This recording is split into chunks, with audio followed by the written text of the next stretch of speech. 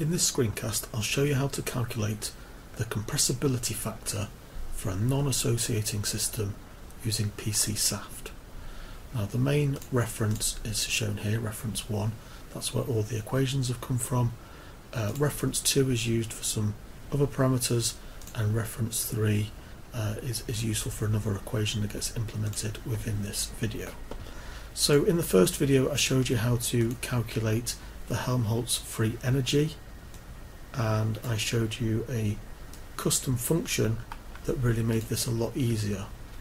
And we're now going to use this custom function to calculate compressibility factor. So on this worksheet everything's a lot simplified uh, and what we can do is we can actually work out the partial derivative of the Helmholtz free energy with respect to the packing fraction and then we have an equation here, equation A22 from reference 1 that will allow us to calculate the compressibility factor. Okay, so what we need to do is we need to calculate the value of A res at several different points.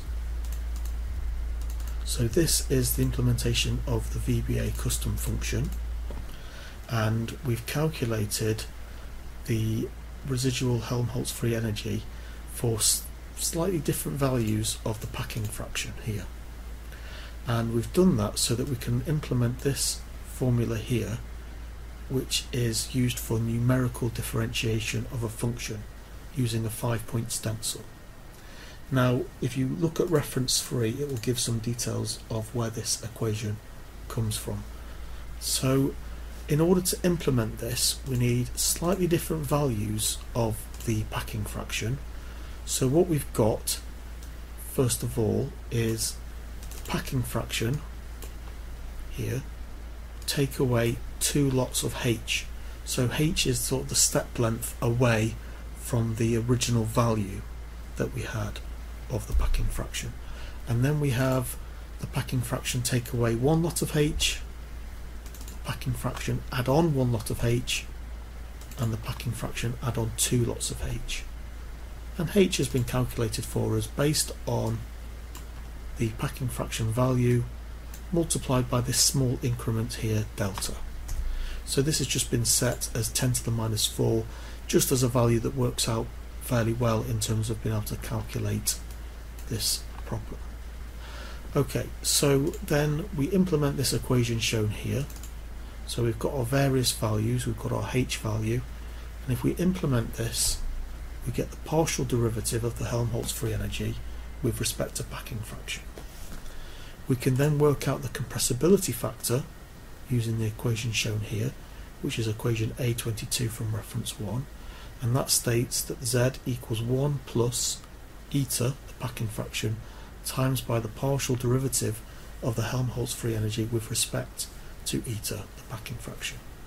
So we've just done that here. So we've got partial derivative multiplied by the value of the packing fraction and add on 1.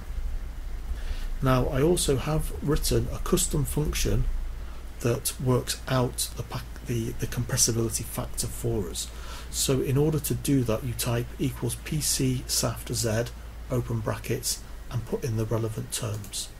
Now the information for this custom function is shown here in terms of what you need to put in and what these things are. So it's very similar to the equals PCSAFT A function that I showed in the previous video. And if you come over to developer and click on module 2 it will show you uh, all the equations and all the code that's gone into this. Now the way this has been written isn't actually the same way that I've just shown you in the spreadsheet it's actually implementing some equations to directly calculate Z from the paper shown here, which is the paper that we've been using in the main spreadsheet. So if you want to take a look at that in some more detail, I'll include a link to this spreadsheet within the video description. So this has been a short screencast to show you how to calculate the compressibility factor for a non-associating system using PCSAFT.